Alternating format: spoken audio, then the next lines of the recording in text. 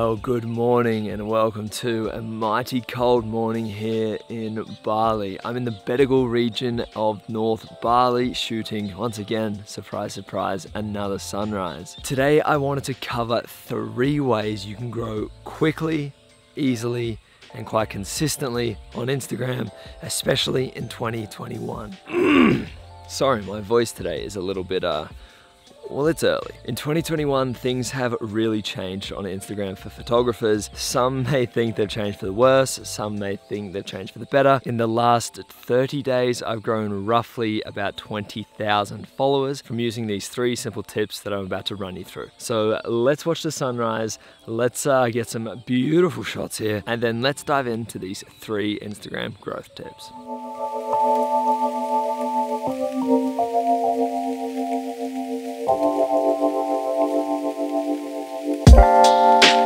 So let's get into these Instagram growth tips and let's start with tip number one and that is to use Instagram Reels. And before you click off, please give me a chance to explain myself. I've seen some insane growth over the last three to four months from Instagram Reels and that is arguably why I've grown so much. I've had Reels do over one, two, and nearly up to 5 million views each, which in all honesty is insane. But there's a method to this madness and it's not just simply posting whatever, whenever, however. There are a few tips and tricks that I would love to share with you guys to make sure you're getting the most out of and taking the most advantage of Instagram Reels because the opportunity here is honestly endless. Let me explain. So by now you might have seen some Reel trends and in all honesty they might not always be the best and they might not look good, sound good all of the time but there's a reason why they're trending and believe me they work. I had this exact mindset when I started out with Reels. I was so against putting anything up that wasn't artistic in a way or whatever the case but I did one and that one reel, the first one that I'd posted like that, did a million views in two weeks. I saw about four to 5,000 follower growth and I was blown away. I had not grown this quickly in years. From there, I thought it was time to put my personal ego aside and just fill what the market wants. And in all honesty, this is so important just to follow the trends. Part two of tip number one is to make sure you are using trending sounds. This is arguably just as important as following the trends, but the sounds make so much of a difference.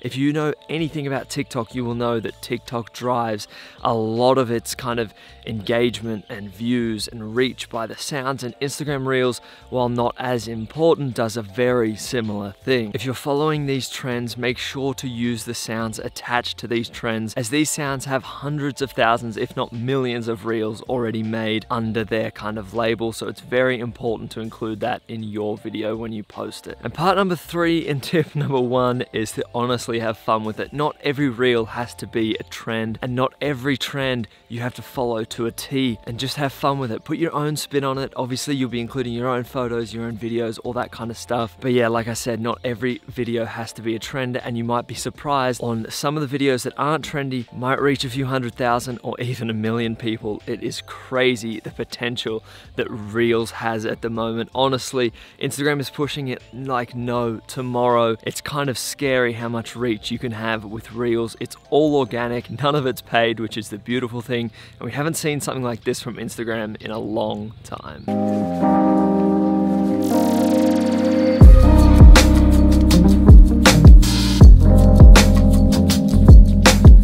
Alright, so I have caved and put another layer on. It is cold, and if you know me, you know I am not built for the cold at all. But moving on to tip number two, and that is to make sure you're repurposing and using your content on different platforms. Now, what I mean by this is if you're creating Instagram Reels, use them on TikTok and use them on YouTube Shorts. And if you're creating photo content, use it on Facebook and use it on Twitter. Now, this might sound just a little bit strange because it's like, well, hold on, this is a video about growing on Instagram. Why would I post to TikTok or YouTube or Twitter or Facebook? Well, it's not so much about the numbers on those platforms and it's more about the community you build. If you build a strong enough community, you will see that you can easily translate any kind of audience to any platform. If you build a really strong audience on TikTok, you'll be able to move it onto Instagram. You also make sure that you're not just putting all your eggs in one basket and going 110% on Instagram or 110% on TikTok because if one of those platforms fails or changes, you're gonna be stuck and all of a sudden you're not going to have the following you once did. So it's really good to spread yourself wide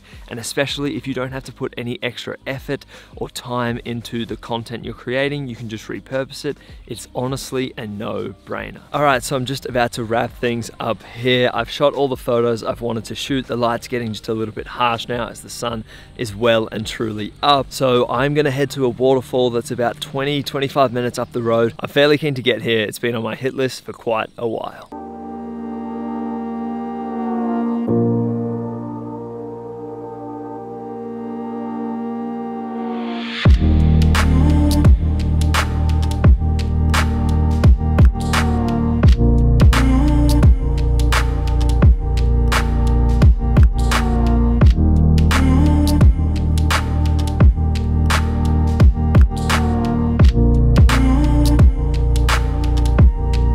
Well, uh, here we are. This place is awesome. It's uh, actually a bit of a bigger waterfall than I was expecting, but it's pretty windy, pretty loud here. I'm gonna put you guys away.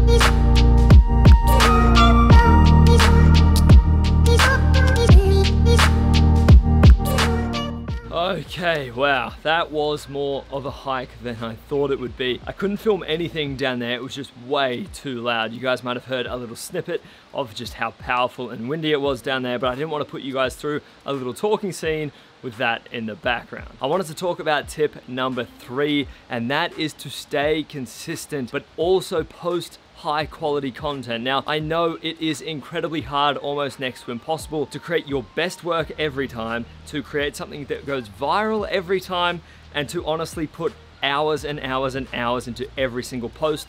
Not only is it not achievable, but it's also not worth it. So in the beginning, please take your time. Nothing's gonna happen overnight. Just stay consistent and make sure you're uploading quality content that people would actually wanna follow you for. And the beautiful thing about repurposing content is you can create content purely just for Instagram and repurpose it, like I said, to TikTok, YouTube Shorts, Twitter, possibly Facebook, and hey, maybe even Pinterest. Honestly, all of those platforms do have potential in some way or another, and honestly, it would be silly not to take advantage of it if you already have the content. So that's gonna be wrapping up today's video. I hope you've been able to take something away from this video and maybe even possibly implement some of this stuff into your own social media career or journey, and hopefully it helps you out along your path. So guys, as always, thank you for watching, and I will catch you later.